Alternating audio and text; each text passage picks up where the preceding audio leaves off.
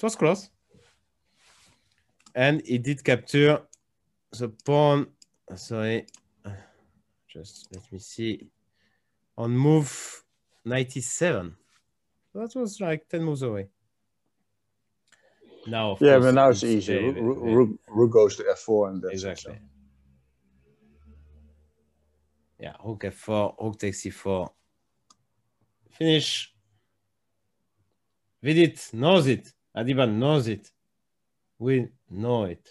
Two more Blitz games. Five plus three. So you were wrong about the number of tie breaks. Oh, very wrong. Completely wrong. Two, one, and Vidit lost on time. Yeah, but, but losing, uh, losing is losing, yeah. Yeah. Lost on time and on the position.